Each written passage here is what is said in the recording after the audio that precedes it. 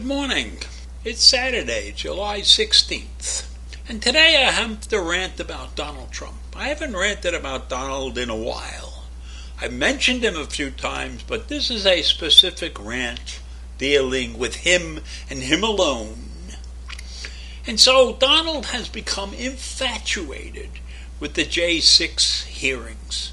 And from what I understand, he is constantly on the television set watching what's going on, getting aggravated and grumbling to himself about what is going on in the J6 committee. And he is very upset about what the witnesses have come forth and told them. And if I was him and I was listening to this committee, I would be thinking of somewhere to go. I would want to go to some place where they don't have an extradition treaty to the United States. And guess what? Russia and China don't have extradition treaties with the United States. So if Donald Trump takes a good hard look at this thing and starts thinking like a man who wants to escape, that's what he should be doing. He should not be wasting his time on watching the J6 committee. He could go and get back to Russia and maybe build a skyscraper or two with them I mean, he loves Putin. That would be a perfect place. Maybe the U.S. could even make a swap Trump for Griner. That would be interesting, right? You think Russia would send that basketball player back to us in exchange for getting Donald Trump? But if he doesn't want to go there, like Russia or China, he could go to Brunei. If he prefers a beach location, because, you know, he's got that place at Mar-a-Lago, if he wants to be near the beach, he could go to the Maldives or even Tunisia. They have beaches there and no extradition treaty. If he wants, and if he wants to change the people's view of him and he wants to do something really great, he could go to the Ukraine. He could help Zelensky because the Ukraine has no extradition treaty with the United States. You know, I would love to see Donald, Donald the warrior, Donald who avoided joining the army because he had bone spurs or something. He would be wonderful if he went and worked with Zelensky and helped out in the Ukraine, you know, giving his knowledge to the troops there. Wouldn't that be something if he decided to go there? Maybe if he went there, we wouldn't be pressing for him to come back and face the music. So I leave you with that thought right now, but I have other things. So I ask you, why? Why is he doing these things and watching the committee so closely? And then I realize he's listening to what people are saying.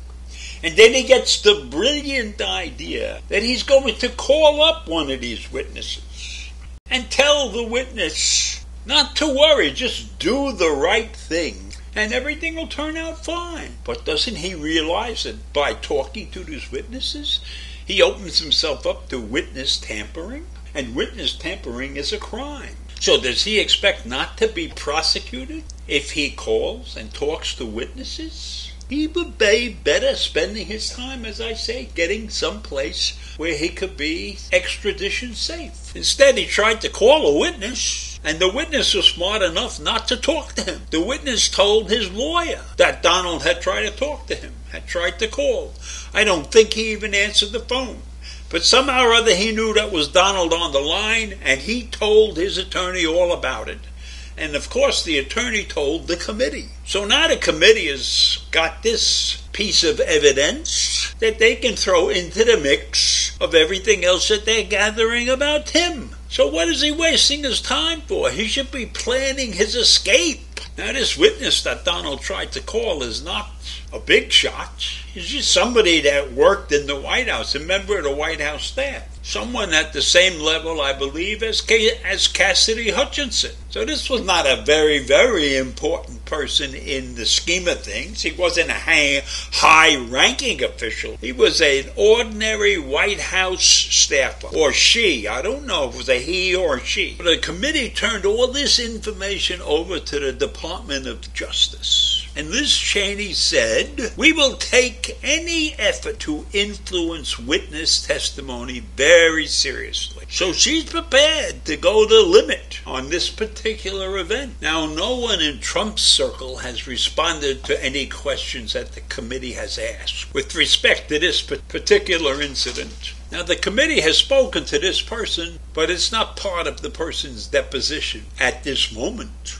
But as you know, the committee cannot prosecute a crime. So Bennie Thompson said, in this situation, we gave this thing right to the Department of Justice, and they can take care of it.